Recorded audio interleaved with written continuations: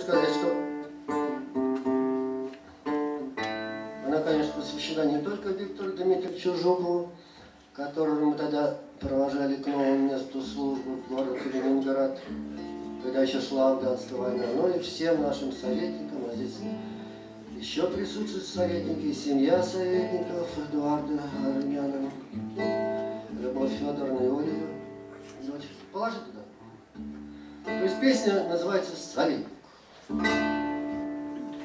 Он сядет на поезд хороший, уедет служить в Ленинград. Он хочет не думать о прошлом, как года четыре назад. Не спит от колесного стука, Хоть на ночь попил не чайку. В окошко уставился жуком Советник в афганском полку.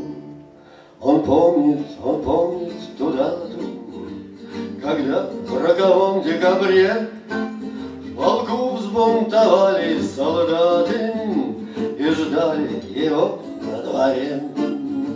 И вышел военный советник, Небрежно ремень берега, А там под ремнем пистолетик, Девятый патрон на себя.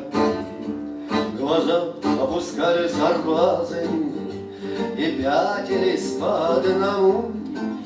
Советник страшнее приказа, Они подчинились ему Своим пистолетиком малым.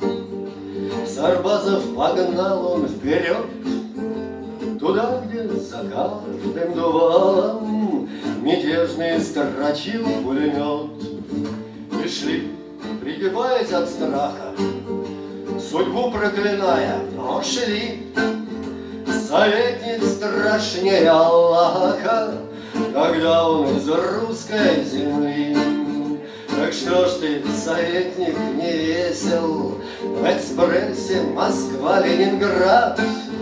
Мир тот же, из крови и песен, Как года четыре назад. Не ты уезжаешь в разлуку, А мы с тобой разлучены. Спи, Виктор Дмитриевич Жуков, Советник советской страны. Спи, Виктор Дмитриевич Жуков, Советник советской страны.